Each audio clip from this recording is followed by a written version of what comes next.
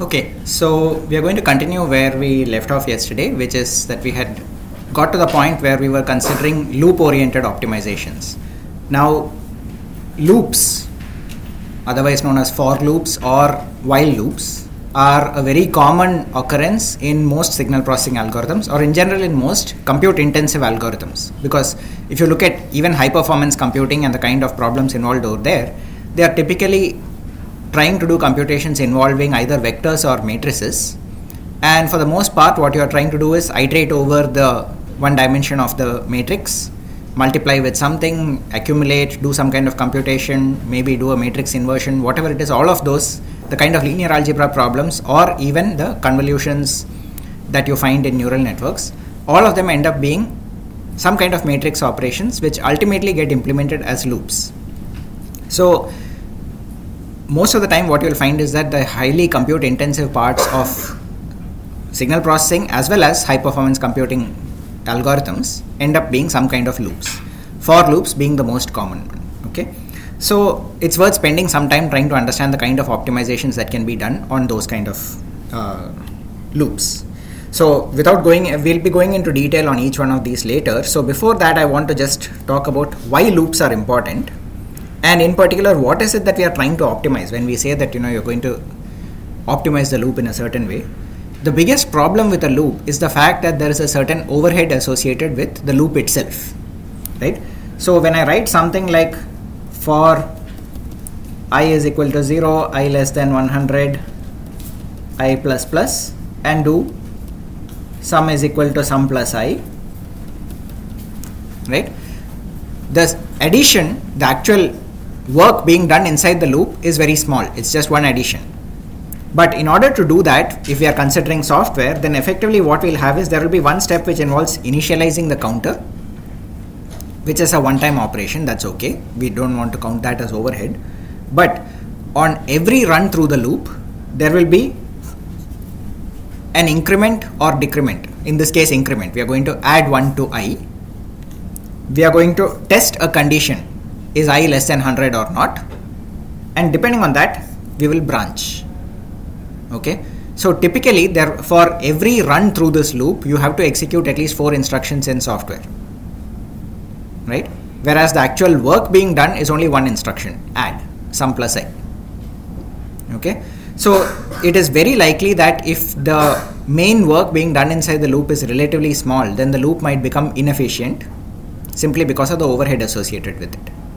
Another thing that happens, especially in software, is the fact that if you are accessing memory locations, then how you access those memory locations becomes very important because computers, processors, nowadays especially because of the fact that the DRAM, the external memory, is much slower than how the processor itself works. The processor then has to have some kind of a caching memory which can respond very fast but has a low capacity. So, how does the cache work? How does it pull data into the cache so that the next access is done faster? That has a big effect on how loops work. Now, from the hardware point of view, similar considerations because what happens is how do you implement a for loop in hardware you will have some kind of a finite state machine and a counter okay so there will be one step for initialization one state for initialization then as you are going through the loop there will be some kind of a conditional checking and some muxing the muxing basically involves either the data that needs to be computed has to be sent to the appropriate compute unit or we might have to switch state to get out of the loop and go to the next state. Okay? And if you have some kind of read and write operations inside the loop there will be extra cycles required for doing that as well. Those also have to be accounted for. So in other words you can see that there because this is so this goes back to our original thing. This is a common case. For loops are very common in most kinds of programs or most kinds of algorithms that you're trying to implement whether it be hardware or software so it's worth spending time understanding and trying to optimize them so let's look at a few of the optimizations that can be done. One of them involves optimizations with regard to the induction variable. Now what is an induction variable? In this case i. Okay. In other words, the loop index is the one that we call the induction variable. This j is a computation that involves the induction variable, right? And if you look at what is happening over here, every time that I run through the for loop, j is equal to 4 into i plus 3 needs to be computed. Now, 4 into i may not be a big deal, right? Because after all, I can do it by shifting or by multiplication, it doesn't really matter. The point is there are two computations involved. There's a multiplication and there's an addition. So almost certainly two clock cycles are going to get spent for doing that every time inside the loop. Okay, that is in addition to the loop overhead, which involves incrementing the counter, checking the condition, etc. Okay, and finally I have a function called y is equal to f of j. Now, if it turns out well, if it was just y is equal to f of j, then you know you might argue that there is some dead code elimination, etc. that could be done. You know, I'm not considering those kind of special cases. We'll assume that y is something else. Maybe it's a pointer, it's something is getting updated, or it's y of i, which is getting updated in this way, right? So f of j, if it is not a very big computation, the j is equal to 4 into i plus 3 might itself become significant compared to the work. What can we do here? How can we reduce this work? Not have that multiplication and addition inside the loop.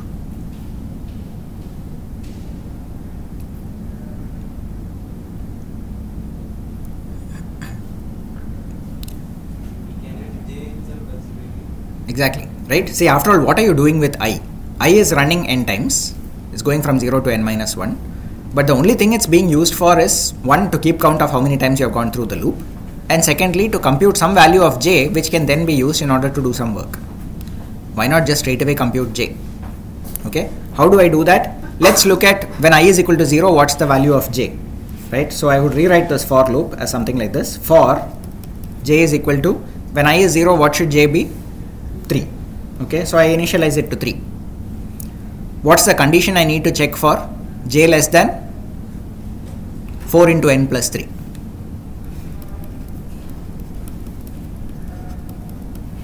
now keep in mind 4 into n plus 3 will be taken out by the compiler constant folding. Okay? So it can be computed ahead of time. It need not be done inside the loop.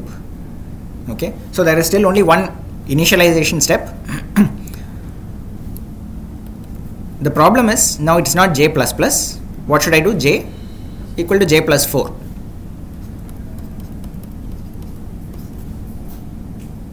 okay? And straight away I can have y is equal to f of j. Now what has this done? Anyway I had to do an increment on i and a comparison on i as part of the loop. Then I was computing j after that. Instead, I straight away made j the induction variable and changed how much it gets incremented each time it goes through the loop. And as a result of that, I have basically reduced a couple of cycles over there. Okay. Now, the important point is this. This might look like a very minor optimization, right? But assume that this was a nested for loop. One for loop sitting inside another. The outer for loop runs 10,000 times, the inner for loop runs 10,000 times. The savings can be enormous okay so don't underestimate the effect of getting small savings like this. Having said that this is a classic case for what you need to be careful about premature optimization right? Because the savings that you get by doing something of this sort are relatively small. You should be looking to see what are the big improvements that you can get first. And this kind of thing usually either the compiler can take care of or it's that final tweaking the last stage to get that extra 5% 10% performance. Yeah. Say inside the for loop, if we are declaring a variable, there can be like say I'm declaring inside uh, integer a and yeah. outside integer. So will the compiler automatically take it uh, outside the loop? Like if you are declaring so inside the for loop, so what you have is there is a for loop and I declare int a is equal to some constant, right? And then you are using a inside over here yes the compiler can take it out assuming that it can actually eh, what it will do is it will do an analysis of the loop and see whether the value of a is changing.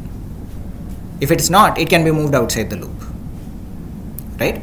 So in fact one of the things that the compiler needs to do is whenever you declare a variable in general what happens in the c programming languages there has to be some memory space allocated for it okay so some area of the memory, one location, if it's an int, then one 32-bit location will be allocated for that variable. But if the compiler, when it does the analysis, it also does something called a life lifetime analysis. right? And finds out, okay, when did the variable first come into existence? When is it last used? If that is basically within a small block like this, the compiler can do one additional optimization and say, I will not even declare a memory location for it. I will just keep it in a register, use it, and dispose of it once I'm out of the loop. Okay, so this, in other words, the fact that you have declared a variable over here does not guarantee that memory will be allocated for it or that you know how will the compiler actually implement it finally in the software execution. If you want it to be a memory location then you basically will have to do something like either declaring it as a global variable or something to ensure that memory gets allocated for it or of course so one other thing which i forgot to mention yesterday but is important.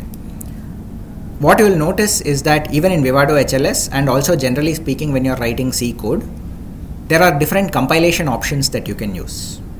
Okay so with the gcc compiler for example if you give the default it does not try to do much optimization. Okay that is controlled by the minus o flag which is given as one of the parameters to the gcc command. If you give minus o0 essentially it does almost no optimizations. Minus o1 will do some very basic optimizations. Minus o2 will do more significantly more optimizations. And minus o3 will actually do fairly aggressive optimizations including potentially things that can give you wrong results okay? Because it makes certain assumptions on things like how many times a loop is going to run what kind of your whether you have done array bounds checking whether you need to check the whether you're reading outside of an array and so on right? So depending on the level of optimization that you give tell the compiler to do it will apply more and more of these techniques. By default it will not. So if you declare int a over here it will actually create a memory location for it and do everything. But if it's trying to optimize it will just make it a register all right. Loop fission and loop fusion are two related transforms that you can perform on loops right? What does this mean? Essentially what this is saying is i have a loop which inside the loop i am doing two computations okay? A of i is equal to a of i plus 10 and b of i is equal to b of i into 7 can you think of any reason why this might be a problem or why this is not the most efficient way of doing things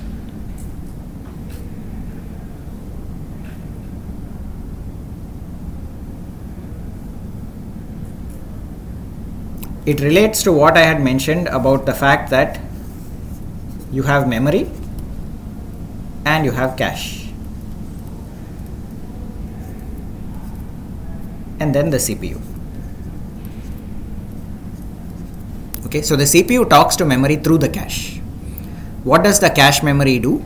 Anytime that you access one particular element, it pulls in that element first from main memory into cache and then from the cache to the CPU. And you do some computation. In this case, so what you are going to do is anytime that you access a of 0, it will pull in the value a of 0 do some computation with it and write it back into a of 0 it goes back into the cache when i access a of 1 a of 1 gets pulled in from memory i do something with it and write it back into the cache now there is something called locality of reference which people observed from large amounts of code that were written which basically said that very often what happens is if i access location number 0 I am probably also going to access location 1, 2, 3, etc. Okay. So the way that the cache works is usually that rather than reading in an individual memory location, I will read in a block and try and get this in here all at once. Okay. So I will end up with a so-called cache line which will contain A0, A1, A2, and A3 say it might contain more but at the very least it will probably contain at least some 4 elements or 8 elements some small number like that okay it doesn't make sense to pull in like 1k elements because very unlikely that you will be reading in that many at one shot and the overhead involved is too high but what the cache is saying is look you are accessing a of 0 chances are you also want to access a of 1 after that. So it pulls it in and does some computation with it. But the problem with this loop is i'm accessing a of 0 in the next clock cycle I'm hitting B of 0 not uh, in the next step inside the same for loop. I'm hitting B of 0 okay? There is a possibility that both of them right? So this is A, this is B. Both end up clashing on the same cache line. Why does that happen? Because of the way caches are implemented. They don't always guarantee that different memory locations will go to different cache locations. You could have a cache conflict over here. If this happens, performance will be really terrible because what will happen is I will access A of 0, it will pull the whole A line into cache. Then I access B of 0, it throws the entire A line out, pulls in B. Next iteration through the loop, again it has to throw B out and get A. Then again throw A out, get B. Okay, performance can become quite bad. This is of course an extreme case, but it's a possibility. What can you do? If you look at these two instructions, there's no dependency between them. So I can easily write this as for A and another for loop that goes for B. Okay. Now what happens? I do all the computations involving A first. Optimal use of the cache, everything is perfect, it runs fast. Then I switch over to B, run all the computations involving B. Guaranteed that there are no cache conflicts over here. The problem is there is some extra overhead due to the for loops, right? So it's a trade off. You need to sort of look at the actual implementation and decide whether or not this loop fission, which was applied over here, fission basically means splitting. The fission that we did over here, was it worthwhile? Okay. What about fusion? Now look at this and this. They both relate to A, A of i. Okay, so I could potentially have combined both of them. A of i equals something and C of i equals A of i something. This is good because at least A is being accessed twice. There is a slight possibility that C also ends up, you know, conflicting with the same cache location, but chances of that are less. If that happens, then then you know you have other problems to deal with. At least you don't need to read in any other data. And more importantly, whatever you computed for A of i can immediately be reused out here. You might even be able to do some kind of constant folding, propagation, etc., and reduce some computation. Not even have to do one extra read from memory. Okay, so this is a case where loop fusion can be used. The advantages of fusion are two. One is if there is a related data, then the cache you don't need to have two hits to the memory. The cache will take care of it better. The second thing, of course, is you are reducing loop, loop overhead, right? Because every time you go through the loop, you have that increment, compare, jump, which can be shared across two sets of instructions. So remember, uh, all of these things are the cases where it's not always obvious that it's going to give you a benefit. So the compiler has to take a call whether or not it's a good idea. In general, C compilers don't do this kind of fission fusion kind of transformations easily. They do it only when you have aggressive optimizations in place, right? This is one of those places where human intervention actually can make a big difference, right? So this is one of the kind of things where even when you're writing the code, you can actually look at it and say, okay, if I split the loop, does it open up any options for me to do further optimizations later on? Loop reversal is an interesting uh, again transformation right? Again related to the cache in some way. All that it's saying is if i have i is equal to n down to 0 right? If i had the memory and let's say that this was a0 a1 a2 a3 etc the as far as cache is concerned this might all be one cache block. Right? But what I might do is because I read A3 first it pulls in some data corresponding to A3 right? Next time around it goes to A2 it pulls in some other data corresponding to A2 they may not correspond properly to the same cache locations. Okay? So it is possible that by reversing this make it i is equal to 0 i less than or i is equal to 1 i less than equal to n i plus plus right? And do this. You get the same behavior but the way that memory is accessed changes and can potentially improve. It's not guaranteed once again. Okay? But you have to be very careful. This and this look like they are doing the same uh, function because after all if I look at what the for loop is going through it is exactly the same in both cases but the net result of doing this will be completely different in the two cases in the first case a of i gets a value from a of i minus 1 so in other words, a of n will get the value for, for a of n minus 1, a of n minus 1 will get the value for, from n minus 2 and so on. This will basically become a shift register. What will the second one become?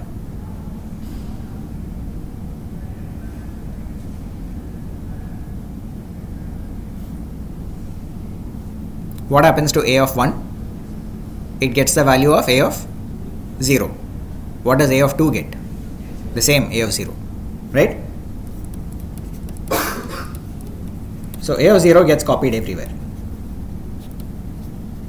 right so this is an example where it looks as though the transformation is valid but it is actually fundamentally changing the behavior of the program. So you can't just it's not just a question of looking at the index variable and changing things around. Okay? Loop interchange once again related mostly to the problem of caching right? What happens over here is supposing you have a nested for loop and a two dimensional array the first question to ask is how is a two dimensional array stored in memory? Okay? So supposing i have a over here right? And it has rows 0 1 2 up to some let's say 9 and this also has 0 1 up to 9 so it's a 10 cross 10 matrix right? How will this get stored in memory it actually turns out that that depends on the programming language that you're using. Right? Because there's no fundamental thing saying that this is how you need to store a array in memory. Right? And furthermore it turns out that c and fortran use different techniques for storing it. They are called row major and column major approaches. So row major essentially says I will store the entire row first. I'll take A00, then A01, A02 up to A09, right? These are increasing memory addresses. Then will come A10, A12, uh, sorry, A11, A12, etc. Okay, this is row major access Instead, if I went by column, I would say A00 is the first one, but after that would be A10, A20, etc. Finally, I would go to A01, then A11, A12, etc. This is so called column major format. What's the difference? Again related to caching because caches will always pull out blocks based on increasing memory addresses.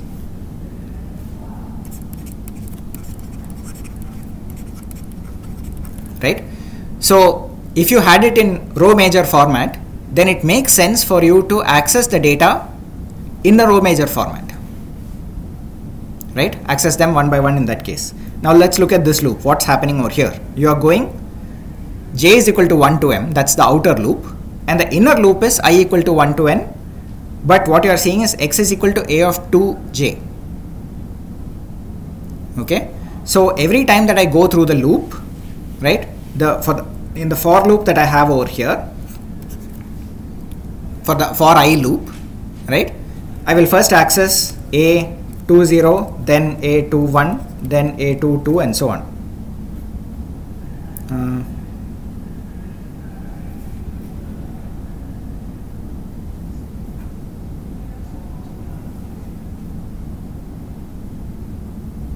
sorry this was actually a bad example. I think uh,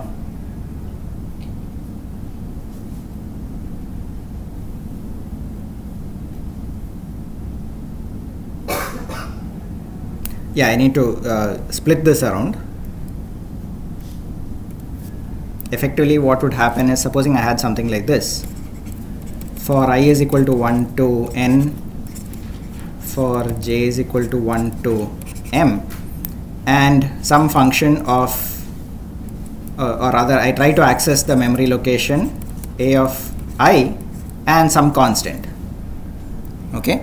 What will happen over here is I will first access a of 1 2 then a 2 2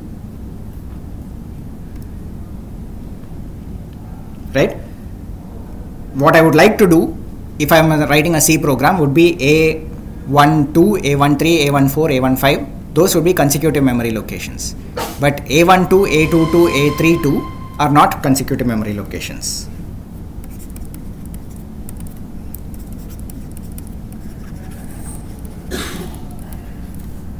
Right? So what happens if I switch the loop around and make it for j is equal to 1 to m for i is equal to 1 to n mm.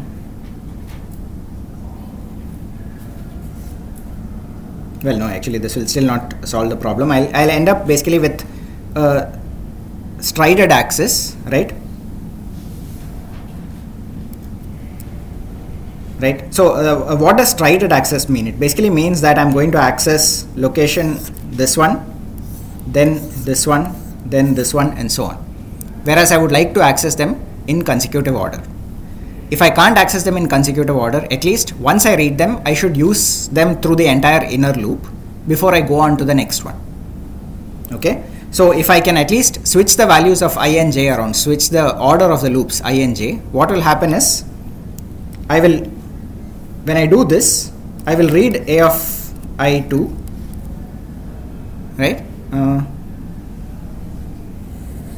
sorry, this is again a bad example. I should have picked this carefully.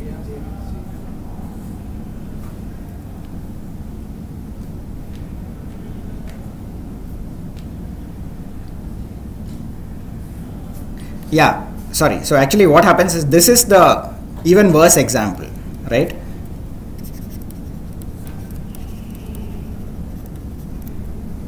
this one is better. Why?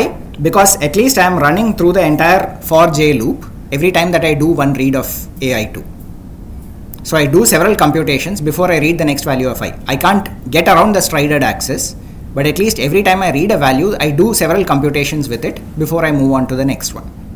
Whereas over here a changes on every iteration.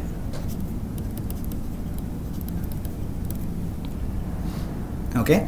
So the order in which you write the loops can make a difference. Once again is that valid? Are you allowed to switch the order of the loops around? That's something that you need to take care of. It's not always the case similarly you might also have a situation where you have these nested for loops and you are trying to access some a of ij that is the entire it's the matrix itself that you are trying to access all the elements. Okay? Once again the order in which you are trying to do it. If your inner loop is going along rows right? This is a bad ordering. Right? The inner loop iterating on the rows means that on every iteration through the inner loop the value of i is changing and I am accessing a strided element. I am basically jumping ahead n steps. Ideally what I would like to do is I pick a row, go through the entire row because that is cache friendly. So if I can switch these two around, this would improve the performance of this loop. Okay, these kind of things can actually be verified by writing the code corresponding to it. You can actually find that there would be a difference in the performance. Of course, it's not easy to create an example for this. The reason being the cache memory used in modern processors is large enough that it's difficult to create a scenario where you would actually see these kind of differences. Okay but when you write large programs and large eh, you know either signal processing or scientific computations these kind of matters actually can become fairly common now a word on dependencies right? We need to understand this because it comes up both in the context of software as well as in hardware. So vivado hls has a very uh, strong usage of dependencies in order to do optimizations okay? What we have on the left hand side over here for example i have a is equal to 5 immediately followed by b is equal to a okay? This is a direct dependence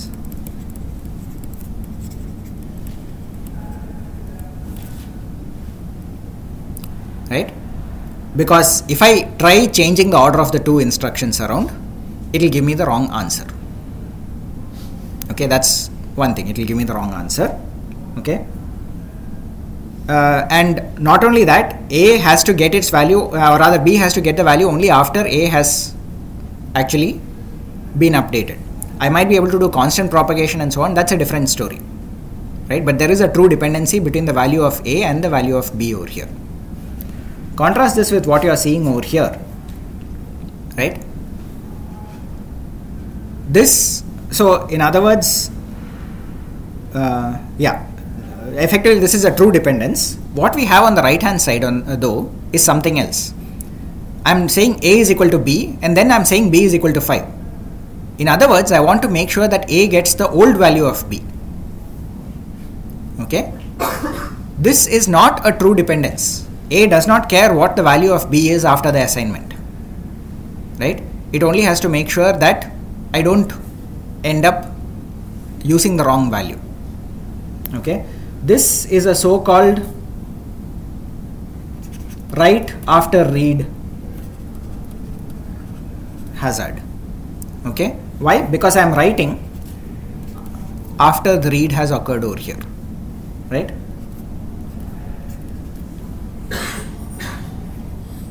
Now, interestingly enough, you might feel that both of them are the same. After all, I wanted to take the old value of b, I want to make sure of that before I update the value of b. Right? But it turns out that you can actually do a certain kind of compiler transformation which effectively says that, you know, don't update the value of b. Effectively, what you need to think of is when I assign b is equal to 5 over here, it effectively means that the old value of b is completely gone. I'm never using it again Think of this as a new variable. Call it b1 and use only b1 after this. Okay? If I do that, the dependency is gone. A is equal to b can happen at any time. It will take only that old value of b. And anyway, I'm using b1 is equal to 5 and then using b1 from there onwards. It will give me the correct behavior. Right? So this is essentially something called single assignment operation right? Any variable can be assigned only once okay? Now for those of us who are used to programming with languages like c and java this is actually a bit counterintuitive. It is the exact opposite of what we are trained to do right? What we normally think is okay declare a variable to hold a value keep on updating the value of that variable use it whichever way you want and so on. What single assignment says is no if you a variable is a placeholder but once you assign a value to it it cannot change. So the way that it's normally referred to is something called static single assignment meaning that once it's assigned it cannot change. Right? It turns out that there are actually languages that make use of this kind of approach right? They usually the so-called functional programming languages actually impose this as a constraint. They have a requirement that you cannot update the value of a variable. Okay it does make certain kinds of computations harder to do or at least harder to write the program not harder to do for the compiler. But the benefits are actually quite significant. So what happens very often is that the compilers do this automatically. They go through the values of variables and the moment that you have updated assignments to variables they rename them. Okay? So you can convert it into something called a static single assignment form the moment that you have static single assignment, all these kind of write after read hazards are gone. You do not have a problem that I might read the wrong value because I am updating it. I cannot update a variable. Okay. So, long and short of it is both of these are dependencies as far as the program is concerned, the way that you have written the code. They, you cannot switch the order of the instructions around. But the one on the right can be fixed by changing the way that the program is written. Okay. The same thing happens inside this loop. What we are doing over here is in both cases, in the first case I have b of i is equal to b of i minus 1, right? I need to make sure that I actually update i minus 1 and you know in the next iteration it is then going to update that into i. So b of 0 will get copied into b of 1, then into b of 2, then into b of 3 and so on. Whereas the right hand side is sort of doing the opposite. This is like the shift register, right? It is, I could in principle do all of these updates in parallel. Whereas over here, this has to be done sequentially. But this can be parallelized. okay provided that I read all the old values of b and update them into the new values of b at one shot which if you think about it is exactly what a shift register would do in hardware. Okay? Which one? No no that is because in this case it is just b of 0 is being written into every array. What if it was a computation? So b of i is equal to some f of b of i minus 1 well okay it is still a constant. So yeah this is a trivial case. It's just an assignment where we have this uh, so my point is that you know it need not always be just an assignment into b of i. It can be something that is making use of the value of b of i minus 1 and doing a computation which could change. Okay. In other words uh, yeah what you raised is a good point. In uh, the way that i've given the example at least it looks as though i can just take b of 0 and propagate it to everything.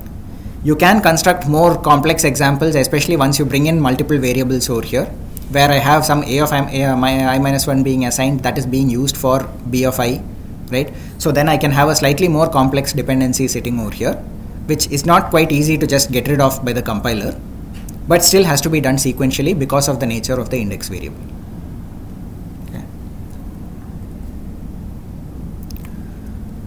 a related term, right, is something called a loop carried dependency, right, which basically says, let's look at this kind of, in fact, yeah, so this is an example of what we have over here. I'm assigning b of i is equal to 8 and then I have a of i is equal to b of i minus 1 plus 10. Okay, I'm trying to use what was there in the previous iteration of the loop, right.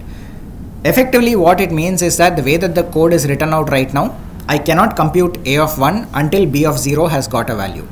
I cannot compute a of 2 until b of 1 has got a value. Okay, so there is a dependency that has been imposed by the loop. The way that I have written the loop, there is a proper dependency that is there from b1 to a2, b2 to a3, and so on. Okay, and I am updating the value of b of i right inside the loop over here. It will be used by a in the next iteration of the loop.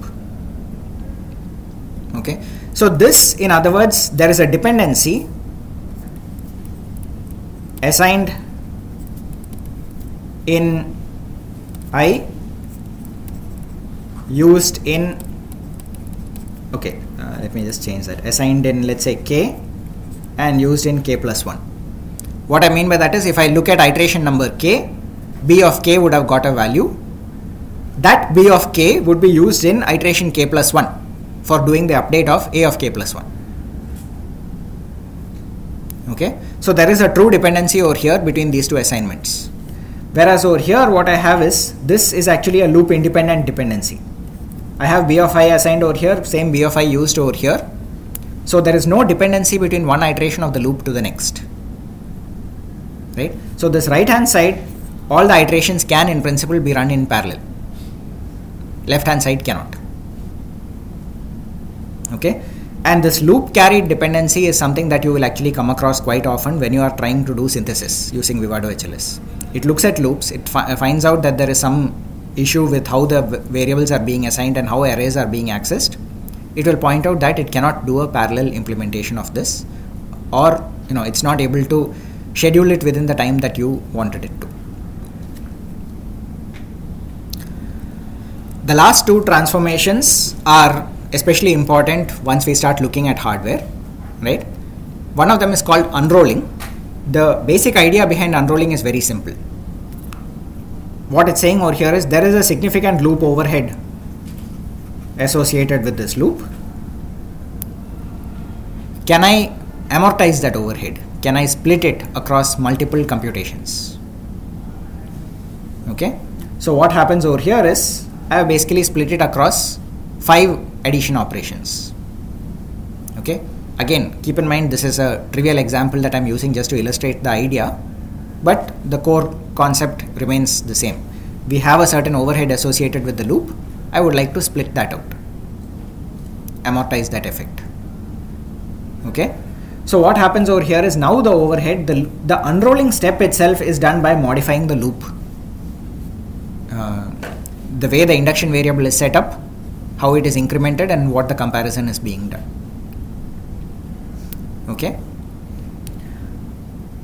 Now, you'll probably notice that I tried unrolling by a factor of 5. Okay, it worked. What if I wanted to unroll by a factor of 6? Why is that complicated? Because I need to do it 100 times. Okay? But if I do unroll 6,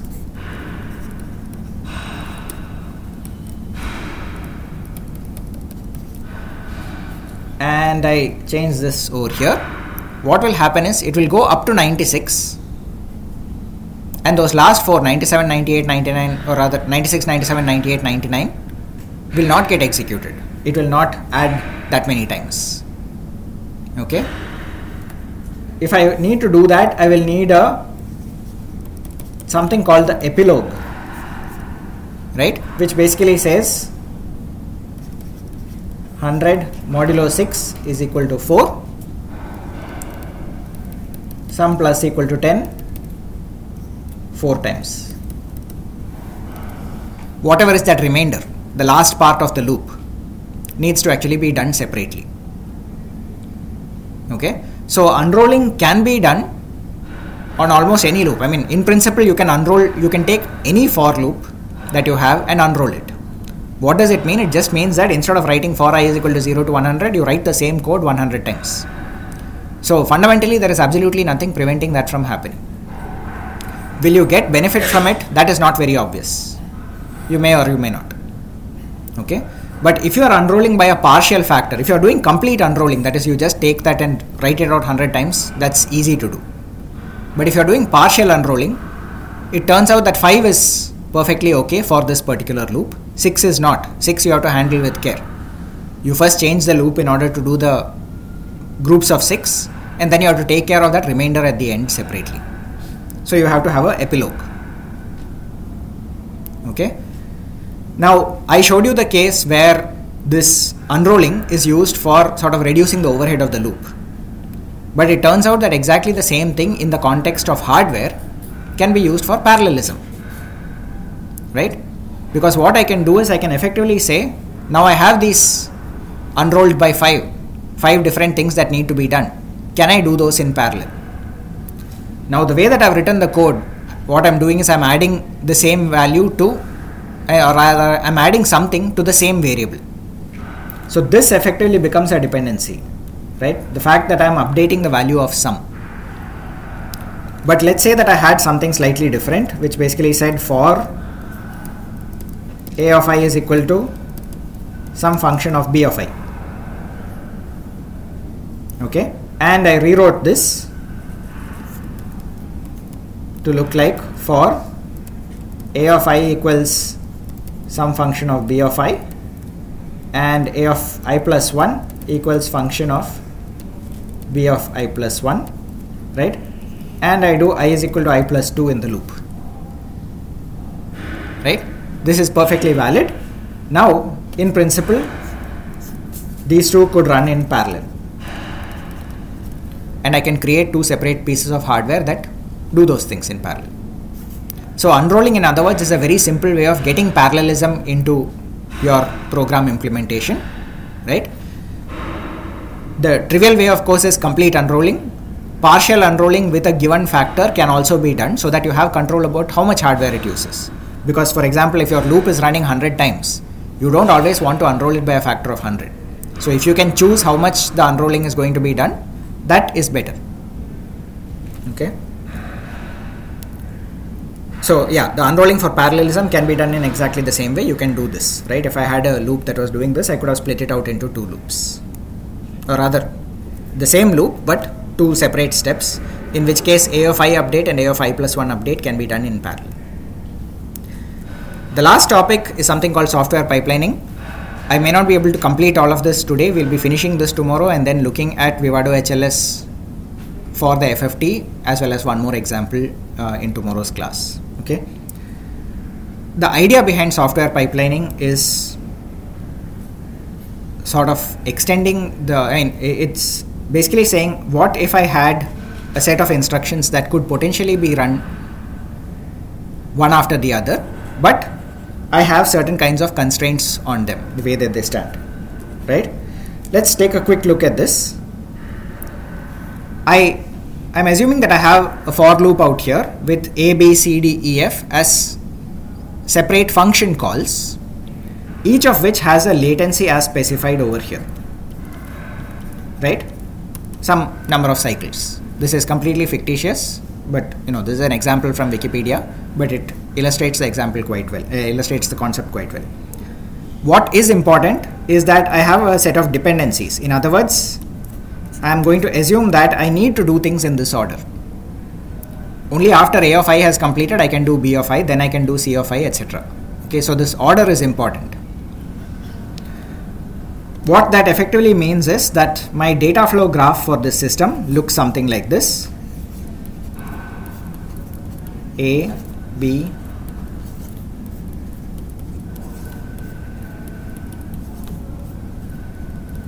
right there are six operations that need to go in order.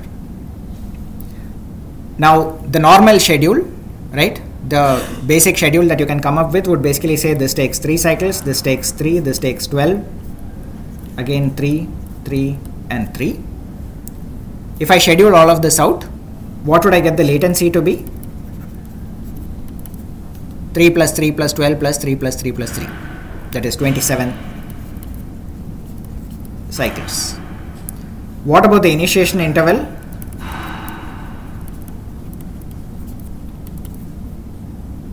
Once again 27 cycles because you know I have to finish all of them before I can go on to the next one. Okay.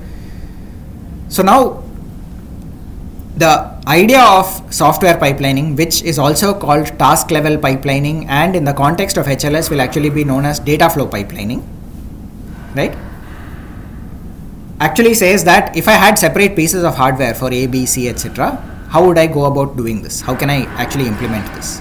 But let me consider another example to show that this can actually be applicable even in the context of software itself and is in fact used like this in many kinds of processors for example the TI uh, DSP pro- uh, DSPs right they can actually make use of this kind of software pipelining what is happening over here is what we are saying is once A1 executes, next two clock cycles are idle, then B1 executes, then two clock cycles are idle, C1 executes, 11 cycles are idle. Not idle meaning that no other function or no other instruction can start there. Then D1, E1 and F1. This is the exact operation that is happening okay? Question is can something execute here or here or in any of these gaps? Okay? And what we are going to say is okay I mean, clearly a2 can. From a dependency point of view it is possible for a2 to start in the next clock cycle. Right? It is not waiting for anything. And we are going to assume that the processor is such that it is also a pipeline processor. It can potentially start this in the next stage. Right so what is actually happening over here? Effectively, what we are saying is we, were, you know, the scenario that I'm constructing is slightly artificial. So you don't think of it too much in terms of can one function execute while the other one is going on, or can one instruction execute while the other one is going on.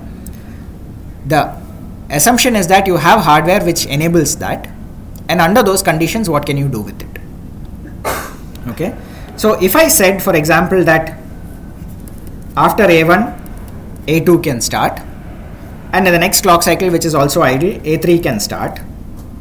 Next clock cycle a4 could start or b1 can start.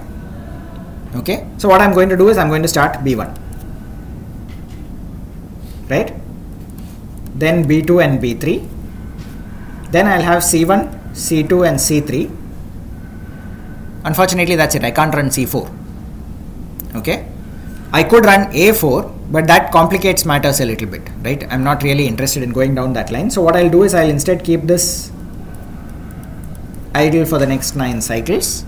And then say from here onwards I can run d1 d2 d3 e1 e2 e3 f1 f2 f3 and from this point onwards this is the end. I can start a4 a5 a6 etc so this now becomes the block schedule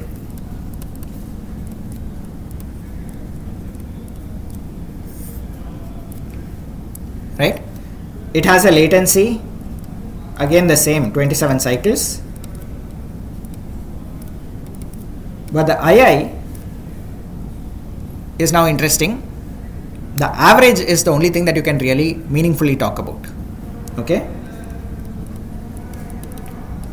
It's 27 by 3 so every 9 cycles I can essentially in initiate a new call to that set of functions a to f okay? So the question is is this the best that can be done? Effectively if you think about it this is sort of like unrolling. Right? What i have done over here is i've written out a1 a2 a3 b1 b2 b3 c1 c2 c3 and then the processor can straight away say okay a1 next clock cycle i can immediately start a2 because it has no other dependencies then a3 then b1 b2 b3 and so on. So the unrolling will give you this and will allow you to bring down your initiation interval from 27 down to an average of 9 okay? The question is can we do better? Okay? So what we are going to do tomorrow is to look at how we can rewrite this code in such a way that these dependencies could be shifted around a little bit and give us an initiation interval of 6 okay which in this case is the best possible because you have six steps that are there inside the for loop. So you can't really look for an initiation interval less than 6 right? The same concept can then be applied to entire function level in hardware. And we will take that and we will look at that in the context of the FFT code and see how that can be used to bring down the latency. Okay? All right stop here